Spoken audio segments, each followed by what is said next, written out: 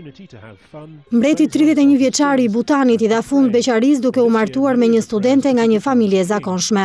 Jigme Kesar Namgyel Wangchuk zgjodhi për nuse njëzet e një vjeçaren Jetsun Pema, vajzën e një piloti. Çifti u martua me një ceremoni budiste në fortesën e një manastiri të shekullit të shtatëmbëdhjetë, përballë një statuje gjigande të Budës. Gjatë ritualit budist, mbreti zbriti nga froni për t'i vënë në kokë kurorën studentes.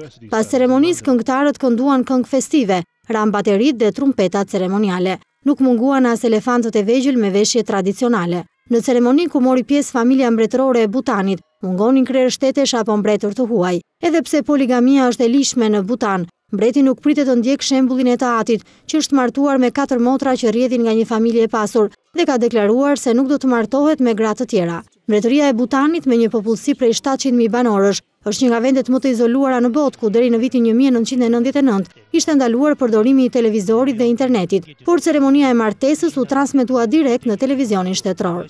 Wangchuk u bë mbret i këtij vendi në vitin dy mijë e tetë, ndërsa është i pesti që drejton Butanin në njëqind vjetët e fundit.